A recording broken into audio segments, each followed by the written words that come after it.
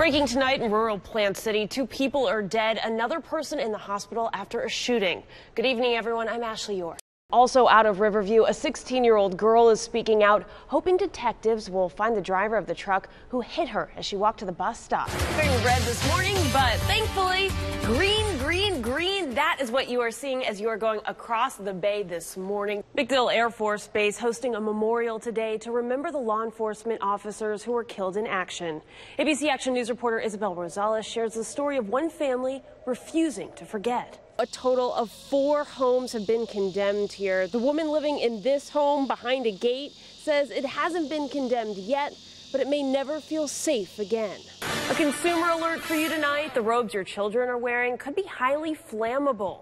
These robes that you're seeing right here by Creative Kids could put your kids at risk of severe burns. All right, take a look at this. This Texas man celebrating his son's graduation day by pulling out this throwback fashion statement. Yeah, you're seeing it right. Exactly what you just said. The word tackle can sound scary. So if you're a parent, if you're a mom, you want to make sure that you're keeping your kids safe.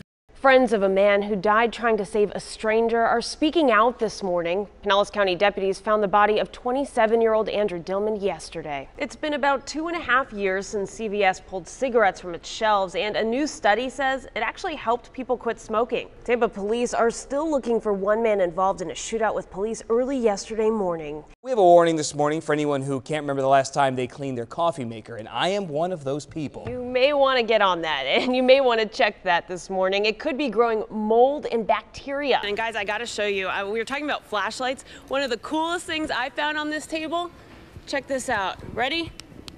Oh yeah. Oh,